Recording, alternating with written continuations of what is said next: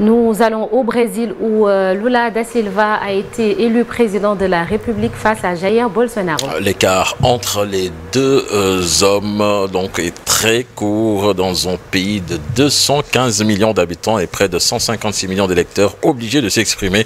Le vote étant obligatoire, la marge est bien plus étroite que ce que présidaient les sondages qui avaient déjà sous-estimé le score de Jair Bolsonaro avant le premier tour. L'ex-sidérurgiste de 77 ans qui avait connu la prison pour corruption de 2018 à 2019 avant euh, de voir ses condamnations annulées par la justice, effectue donc un spectaculaire retour au sommet de l'État au terme d'une campagne électorale délétère qui a divisé le pays. Il avait euh, déjà été à la tête du pays donc pour deux mandats, rappelons-le, c'était de 2003 2011 et puis Jair Bolsonaro qui n'a toujours pas réagi à l'issue de cette élection présidentielle. Euh, aux Philippines, le bilan de la tempête euh, Nalgae qui s'est abattue ces derniers jours a grimpé à 98 morts et plusieurs dizaines de blessés. D'autres corps ont été retrouvés alors que plus de la moitié des décès dus à des inondations et à des glissements de terrain qui ont ravagé des villages dans l'île de Mindanao au sud de l'archipel. La tempête a frappé à l'île principale de Luzon pendant la nuit de samedi à dimanche, balayant tout sur son passage et causant des coupures d'électricité. Mani et les villes voisines ont subi des inondations. Nalgae donc s'est ensuite éloigné dimanche après-midi en mer de Chine méridionale. En moyenne, 20 typhons et tempêtes frappent les Philippines chaque année, tuant habitants et bétail sur leur passage et ravant Jean, euh, ferme, maisons, routes et ponts. Même si le sud est rarement touché, le nombre de victimes donc pourrait être amené à s'accroître de nouveau.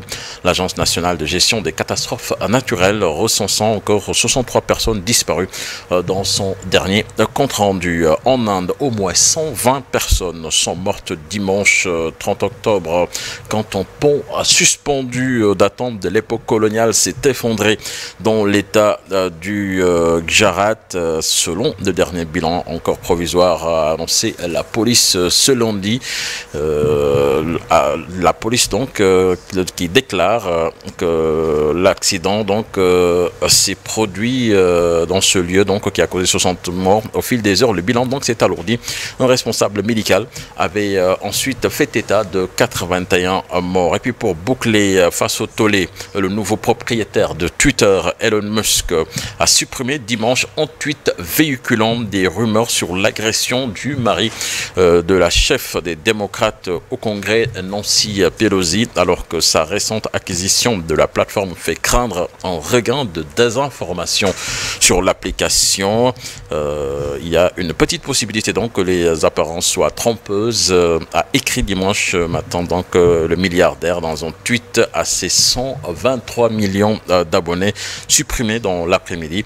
Sa publication donc qui faisait référence à l'agression de Paul Pelosi et renvoyé à un lien d'un article du site conservateur Santa Monica Observer euh, propageant des informations non vérifiées euh, sur euh, l'attaque. voilà, Nathan, donc c'était là l'essentiel de l'actualité internationale de ce matin. Et l'actualité hors du Sénégal revient tout à l'heure en Wolof dans la seconde partie de l'émission. Comme tous les lundis, Daoudemin sera là pour la chronique du jour, chronique consacrée à la saisie de 300 kg de cocaïne dans la partie orientale du pays. Le Sénégal est-il devenu une plaque tournante de la drogue? Interrogation. Euh, donc, et Daoudemin va essayer... Euh,